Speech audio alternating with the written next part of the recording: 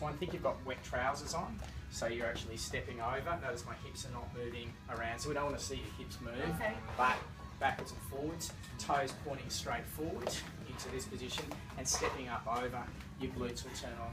Then we do sideways walking Okay. on your toes.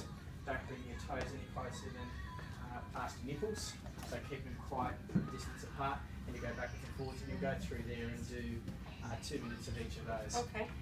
The next thing is uh, in this position and taking your feet further apart. Mhm. Make sure your toes are not too far out but facing forwards. Two minutes. On your bad side, 50 repetitions. Hips, uh, hips, knee, shoulder all in the same line. Same line. Yeah. Okay. Uh, and then we'll get you a start hamstring on the right side.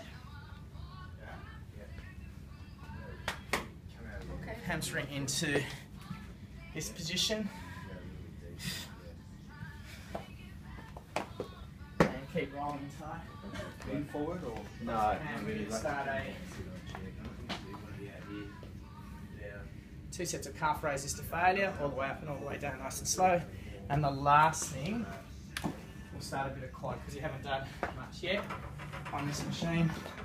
And you're going to go through just into extension, full extension, and you'll do 50 of those. Okay. 50 on your toe, full extension, and then 50 on your heel.